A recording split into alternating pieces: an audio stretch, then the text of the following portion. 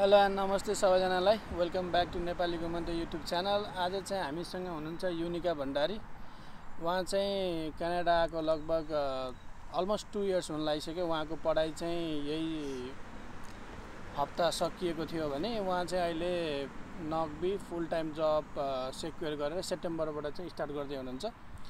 र आज चाहिँ हामीले यो भिडियोमा एउटा एज अ फिमेल क्यानाडामा आइसकेपछि के कस्तो कुराहरूमा ध्यान दिनुपर्छ? उहाँहरूले के कस्तो कुराहरू गर्नुभयो?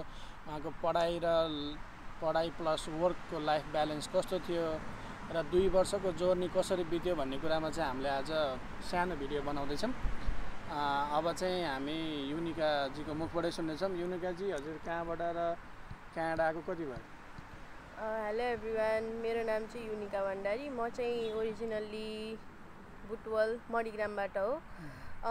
र म चाहिँ क्यानाडा आएको अब आउने अप्रिलमा टु इयर्स हुन्छ। र म चाहिँ अर्ली चाइल्डहुड एजुकेसन गर्दै थिएँ फ्यान्सा कलेजमा र यही अगस्तमा चाहिँ मेरो कोर्स सकियो। अनि तपाईँले चाहिँ नेपालबाट क्यानाडा आउँदाखेरि चाहिँ होइन फ्यान्सा कलेजमा चाहिँ अर्ली चाइल्डहुड एजुकेसन लिनुको मुख्य कारण चाहिँ के थियो त अब कुरा गर्ने हो भन्दा चाहिँ कस्तो भन्दाखेरि मैले चाहिँ खासै बाहिर आउने मेरो प्लान्स थिएन। अब त्यतिखेर कोभिड अब लकडाउन मैले चाहिँ ल जोइन गरिसकेको थिएँ। अनि मैले चाहिँ जे होस् वान इयर लगभग ल पढिसकेको थिएँ नेसनल ल कलेजमा त्यसपछि लकडाउन यताउति अनि त्यतिखेर चाहिँ अब सबैजना बाहिर गएको यताउति अनि सुनिराख्दा अनि मैले पनि ल ठिक छ नि त म नि बाहिर जान्छु भनेर अनि एउटा त्यो डिसिजन जस्तो लिएपछि अनि म कन्सल्टेन्सीहरू बुझ्न गएँ अनि त्यसपछि मेरो चाहिँ ब्याकग्राउन्ड अब हाई स्कुलमा चाहिँ साइन्स बायोलोजी भएको हुँदा चाहिँ अब कन्सल्टेन्सीले चाहिँ मलाई अब कुन कुन कोर्समा जाँदा कस्तो कस्तो हुन्छ भन्ने कुराहरू बताउँदा चाहिँ अब मलाई चाहिँ अब ठिक छ नि त अर्ली चाइल्डहुड एजुकेसनमै जाउँ जस्तो लाग्यो।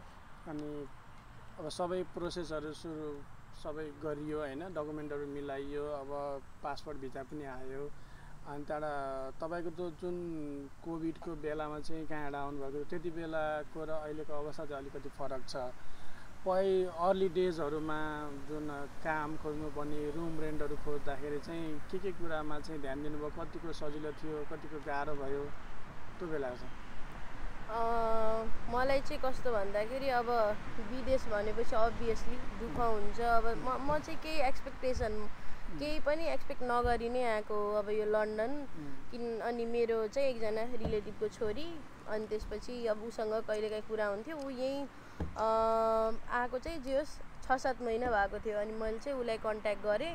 अनि त्यसपछि अब सुरुमै आउँदाखेरि अब उसैकोमा रुम खाली भएको हुनाले अब जे होस् अब जाम न त अब साथी जस्तो त्यहीँ अब त्यहीँ बसौँ भन्ने जस्तो कुरा भयो अनि एकोमोडेसनलाई त्यस्तो खासै गाह्रो चाहिँ भएन। अनि पढाइ चाहिँ सुरुको सेमेस्टर अनलाइन थियो होइन हजुर। अनलाइन थियो त्यसपछि चाहिँ बल्ल इन पर्सन हामी चाहिँ त्यही फ्यान्साको लास्ट ब्याच जुन चाहिँ एक सेमेस्टर चाहिँ अनलाइन पढ्यो। ल एकोमोडेसन त हजुरको साथ हजुरको रिलेटिभको छोरी। छोरीले चाहिँ मिलाइदिनु भएको थियो हजुरलाई चाहिँ सजिलो भयो। अब जब चाहिँ कसरी छ? अर्ली डेजमा जबहरू के के गर्नुभयो? कसरी सर्च गर्नुभयो? जब प्लस पढाइ चाहिँ कसरी लानुभयो? कस्तो थियो त्यो अर्ली डेजको जुन पढाइको अवस्था पढाइको बेला थियो नि कस्तो थियो अब अहिलेको कम्पेरिजन र त्यतिखेरको वान इयर अगाडिको कुरा गर्ने भने त्यति स्कार्सिटी चाहिँ थिएन जबको अनि त्यसपछि अब म चाहिँ कस्तो भन्दाखेरि अब म चाहिँ चारजना सेयरिङमा बसेको तिनजनाको चाहिँ अब जे होस् अब जब स्टेबल जस्तो भइसकेको थियो। अनि मैले त्यही अब सबै नेपालीहरूले आएर गर्ने अब किनकि म चाहिँ मेरो कलेज स्टार्ट हुन स्टिल बिस दिन जति थियो। त्यसपछि मैले चाहिँ अब खोजौँ न त। क्यास जब भयो नि खोजौँ भनेर अनि यताउति कन्ट्याक्ट गरेँ अनि त्यस्तै अब नेपालीहरू सबभन्दा सुरुमा गर्ने भनेकै फार्म। त्यसपछि म चाहिँ जे होस् फार्म जान थालेँ अनि फार्ममा पनि अब इन्डोर फार्म जे होस् ग्रिन हाउस जस्तो थियो जहाँ चाहिँ अब त्यही प्लान्टेसनहरू यताउति। अनि फार्ममा चाहिँ कति कमायो? फार्ममा चाहिँ कस्तो हुन्थ्यो भन्दाखेरि दिनको दस घन्टा काम अनि बाह्र ड बाह्र डलरको पर आवर। Per hour. अनि त्यही हो अब at the end of the अब डे त्यही एक सय बिस डलर लियो अनि घर आयो। अनि फार्मको जब चाहिँ कस्तो थियो? के गर्नु भने फार्ममा पहिला के के काम गर्नु पर्थ्यो अब फार्म पनि कस्तो छ भन्दा यहाँ अब थुप्रै एजेन्टहरू छन् जस्तै. फार्मलाई नि अनि म चाहिँ एक दुईवटासँग गएँ अनि म चाहिँ युजली त्यही इन्डोर अनि अब अरूको फार्मको कहानी सुन्दा ओहो बाहिर कुरिलो टिपियो. यो स्ट्रबेरी टिपियो काँक्रो टमाटर त्यस्तो चाहिँ अब घाममा गर्नुपर्ने चाहिँ मैले गरिनँ. जे होस् इन्डोर तर अब धुलो माटो त अब गर्नै परिहाल्यो. अब त्यही फुल रोप्ने काम तर सुरुको एक महिना चाहिँ फुल रोप्ने काम गर्नुभयो त्यसपछि चाहिँ के के काम गर्दै जानुभयो पढाइ प्लस काम कसरी गयो अनि त्यहाँबाट पढाइ प्लस काम गर्दाखेरि चाहिँ एसाइनमेन्टहरूलाई कसरी म्यानेज गर्नुभयो? यो कुरा चाहिँ कसरी बढ्दै थियो? केही सजिलो भयो कि केही गाह्रो भयो कि? अब गाह्रो त अभियसली गाह्रो भइहाल्छ। अब हाम्रो नेपालको एजुकेसन र यहाँको अब फरक छ तर नेपालको लेखी त यहाँको म सहज नै भन्छु. अब घरबाटै अब अनलाइन भएपछि घरबाटै असाइनमेन्ट सक्दा भयो असाइनमेन्ट सब्मिट गर्यो अनि त्यसपछि अब त्यही काममा गयो आयो असाइनमेन्ट गर्यो। अनि त्यसपछि कस्तो भयो भन्दाखेरि अब एकचोटि अब एउटा जब अब दिनकै एक सय बिस डलर आयो. आउँछ भनेपछि फेरि मैले अब खासै बाहिर चाहिँ एक्सप्लोर गरिनँ अनि म चाहिँ अब अब अरूले चाहिँ आइसकेपछि रेस्टुरेन्ट यताउति रेज्युमे बाँड्ने अलिअलि रेज्युमे बाँड्ने सुरुमा चाहिँ मैले गरेँ.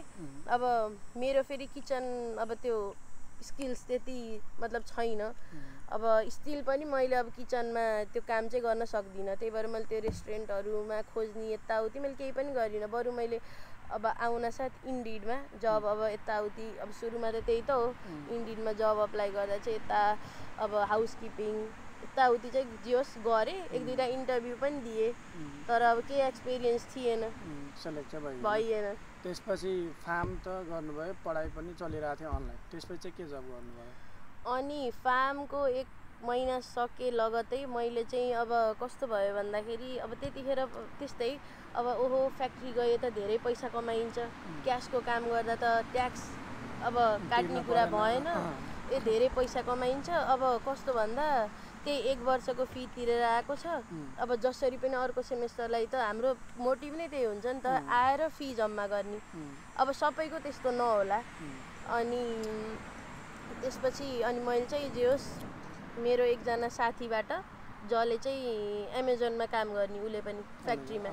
अनि ऊबाट चाहिँ अनि एउटा एक दिन मलाई मेसेज आयो कि ल यो यो मान्छेले यो यो एजेन्टले यसरी यसरी लाँदैछ है क्यास जब हो यो यो फ्याक्ट्रीमा.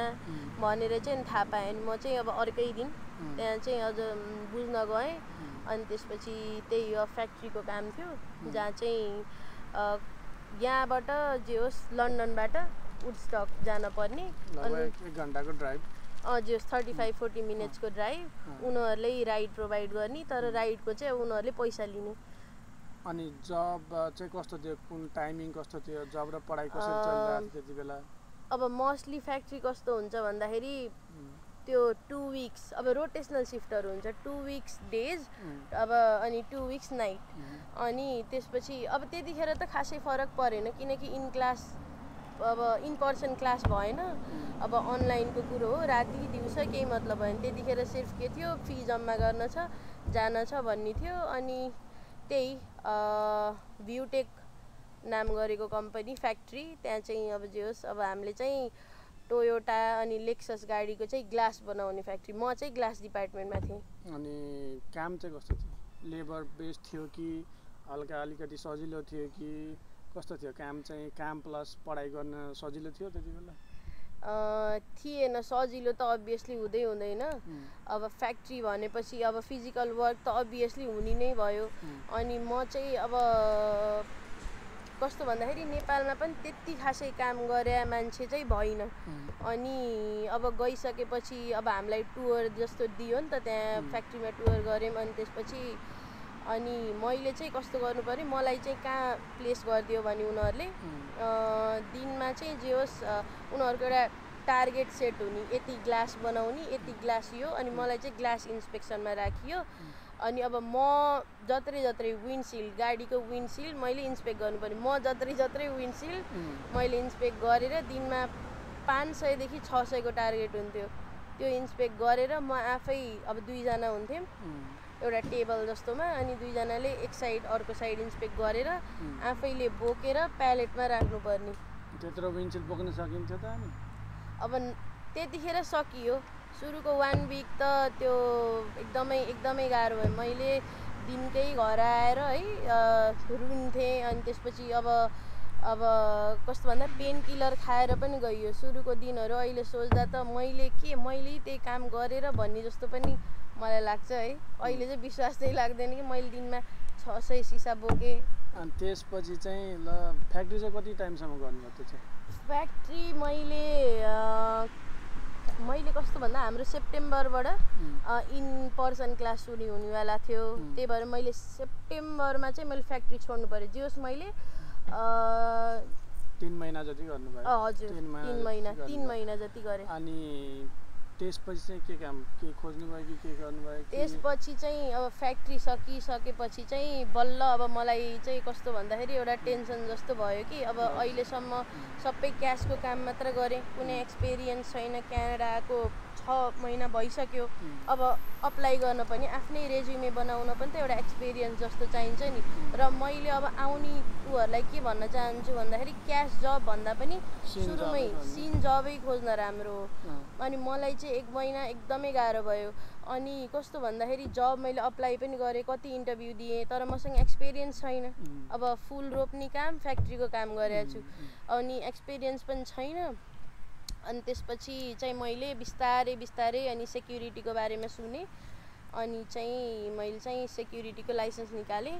अनि त्यसपछि चाहिँ सेक्युरिटीको जब एक महिनापछि चाहिँ बल्ल सेक्युरिटी सुरु गरेँ। एज अ लेडिज होइन क्यानाडामा चाहिँ सेक्युरिटीको जब चाहिँ कस्तो छ? राम्रो छ लेडिजहरूको लागि? अब मैले गरेको सेक्युरिटी जब कस्तो थियो भन्दाखेरि अब मैले गरेको जबलाई हेर्ने हो भने त राम्रो छ। तर अब कस्तो भन्दाखेरि अब एज अ लेडिज अब बिल्डिङ नै पेट्रोल गर्ने अनि मतलब अब यताउति त्यसरी हिँड्न चाहिँ जस मैले त्यो गरिनँ। आउटडोर त्यो पेट्रोलिङ जस्तो सेक्युरिटी चाहिँ मेरो थिएन। मेरो चाहिँ कस्तो भन्दा एउटा एजेन्सी थियो। म चाहिँ एउटा रेजिडेन्टहरूसँग बस्नुपर्ने लङ टर्म केयरमा उसको सेक्युरिटी कस्तो हुन्छ नि एउटा पिङ्क कर्डन भन्ने हुन्छ सेक्युरिटी दुई प्रकारको हुन्छ। लङ टर्ममा जुन अब डिमेन्सिया भएका पेसेन्टहरू वा अलिकति केही आफूलाई कन्ट्रोल. गर्न कन्ट्रोल गर्न नसक्ने पेसेन्टहरूलाई चाहिँ सेक्युरिटी गार्ड राखेको हुन्छ। उनीहरूको चाहिँ बिहेभियर हामीले अब्जर्भ गर्नुपर्ने हुन्छ। उनीहरूको लागि चाहिँ सपोर्ट चाहिँ दिने होइन हामीले चाहिँ बिहेभियर अब्जर्भ गरेर चाहिँ उनीहरूको रिपोर्टिङ गरेर नर्सलाई दिनुपर्ने हुन्छ। यति मात्र होइन जब चाहिँ जे होस् observation as a security observation त्यही हो अब उनीहरूले अरूलाई हार्म गर्न भएन। अनि हामीले चाहिँ त्यही। वान अन वान जस्तो उनीहरूको कस्तो बिहेभियर कति इम्प्रुभमेन्ट के भइरहेछ भनेर त्यही सजिलै भनौँ। अरू अब। त्यो. फ्याक्ट्री र फार्मको लेखी त अभियसली धेरै नै सजिलो। त्यसपछि चाहिँ अब अर्ली चाइल्डहुड एजुकेसन पढिसकेपछि यो चाहिँ थ्योरिटिकल प्लस प्र्याक्टिकल बेस पढाइ हो नि त होइन। इन्टर्नसिप पनि गर्नुपर्ने हुन्छ। अनि त्यहाँबाट यो अर्ली चाइल्डहुड एजुकेसन पढेर चाहिँ हजुर पनि अहिले यो चाइल्ड सेन्टर वा बच्चा. बच्चीहरूलाई डे केयरमा पढाउने ठाउँमा पढाउँदै हुनुहुन्छ। यसमा चाहिँ कसरी छिर्नुभयो अनि एउटा कुरा मैले चाहिँ अब जो चाहिँ अर्ली चाइल्डहुड एजुकेसनमा आउँदै हुनुहुन्छ उहाँहरूलाई के भन्न चाहन्छु भन्दा मैले चाहिँ एउटा गल्ती गरेँ। मैले चाहिँ सुरुबाटै मैले यदि त्यो थाहा पाएको भए मैले त्यो फिजिकल कामहरू गर्न नपर्ने रहेछ। अब मलाई चाहिँ म थर्ड सेमेस्टरमा पुगिसकेपछि बल्ल त्यो कुरा थाहा भयो। कस्तो भन्दाखेरि हामी अर्ली चाइल्डहुड एजुकेसनमा आएका छौँ भने हामीले फर्स्ट सेमेस्टरदेखि नै कुनै पनि एउटा चाइल्ड केयर सेन्टरमा अथवा अर्गनाइजेसनमा हामीले चाहिँ अब जे होस् आफूले आफ्नो अब लेटर अफ इन्ट्रेस्ट यताउति पठाएर चाहिँ सुरुबाटै सप्लाई एजुकेटर भएर काम गर्न सकिन्छ. सप्लाई एजुकेटर भनेको चाहिँ के हो? सप्लाई एजुकेटर भनेको कस्तो भन्दाखेरि जस्तै अब डे केयरको पर्मानेन्ट स्टाफहरूले जस्तै अब सिक लिभमा हुनुहुन्छ उहाँहरू आउनु अब आज अटेन्ड गर्न सक्नुहुन्न भने चाहिँ अब हजुरको अभाइलेबिलिटी अनुसार हजुरलाई चाहिँ फोन गरिन्छ टेक्स्ट गरिन्छ अब अभाइलेबल हुनुहुन्छ हुनुहुन्न अब त्यो हिसाबले हजुरले चाहिँ जान सक्नुहुन्छ। यसको पे चाहिँ राम्रै छ कि अन अरू जस्तै अन एभरेज हो? अरूभन्दा त बेटर नै भन्छु म अभियसली बेटर नै छ एटिन एटिन डलर्स दिन्छ सप्लाईलाई नै। हजुर। अनि सप्लाई त गर ल त्यो अप्लाई गरियो सेलेक्ट भइयो भने सप्लाई पनि एउटा अप्सन भयो। र हजुरले सेक्युरिटी सँगसँगै गर्दै जानुभयो। हजुर हजुर। मैले चाहिँ कस्तो भन्दाखेरि अब हाम्रो त अब त्यही प्लेसमेन्ट कभर गरेर प्लेसमेन्ट अब हाम्रो प्र्याक्टिकल बेस्ड पढाइ भयो अनि हामीले चाहिँ विकको दुई दिन चाहिँ प्लेसमेन्ट जसरी नै अब त्यो पनि अनपेड छ त्यो अटेन्ड गर्नै पर्यो। उम्, त्यसपछि यदि जस्तै अब विकमा अरू दिन खाली छु उम्, भने चाहिँ अँ आइएम अभाइलेबल भनेर मैले त्यो दिन कभर गर्ने अनि त्यसरी जे होस्। त्यही त्यही गर्दा गर्दै अहिले चाहिँ तपाईँ त्यही त्यही फुल टाइमर भएर सेप्टेम्बरबाट काम सुरु गर्न आउनुभयो। हजुर अब मैले चाहिँ त्यहीँ अब जे होस् अब उनीहरूले पनि मलाई सोधे अब सेन्टरबाटै फुल टाइमले अप्लाई गर्ने नगर्ने इन्ट्रेस्ट के छ?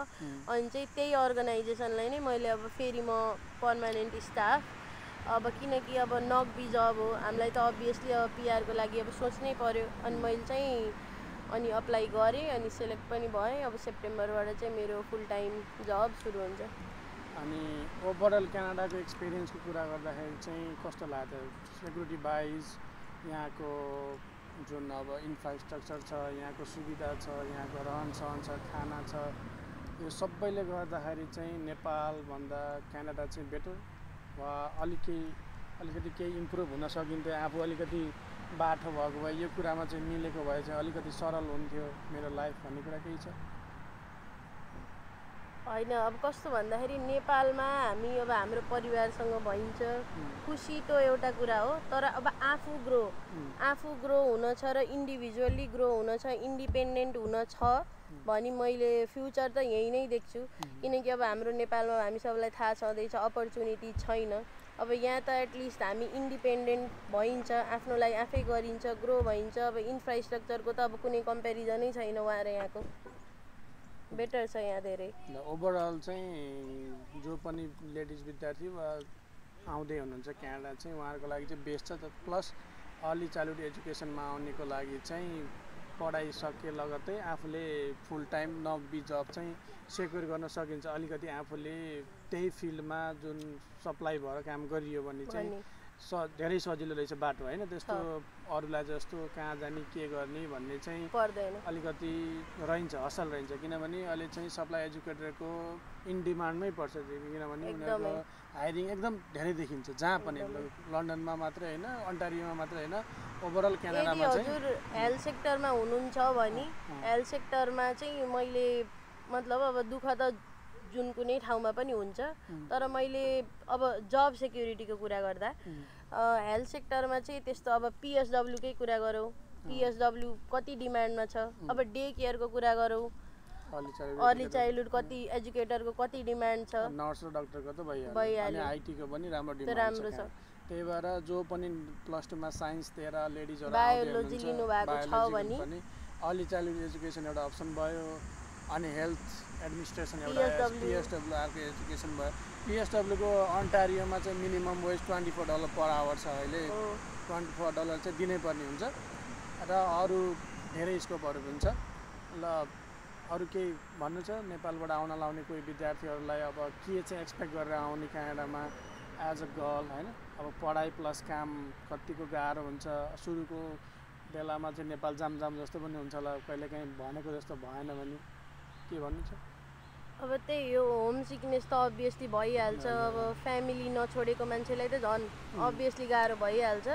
तर एकछिन हो एकछिनको स्ट्रगल हो। पहिला मलाई पनि त्यस्तै लाग्थ्यो म कहाँ आएँ मैले के गर्दैछु? म एकदम क्लुलेस जस्तो हुन्थेँ। स्टिल म त आइसकेको वान विकमा जे होस् हातमा काम थियो। त्यही पनि म एकदम क्लुलेस जस्तो मैले के गर्दैछु? तर बिस्तारै अब इन्भाइरोमेन्टसम्म सँग एडाप्ट पनि भइन्छ कोअप गरिन्छ।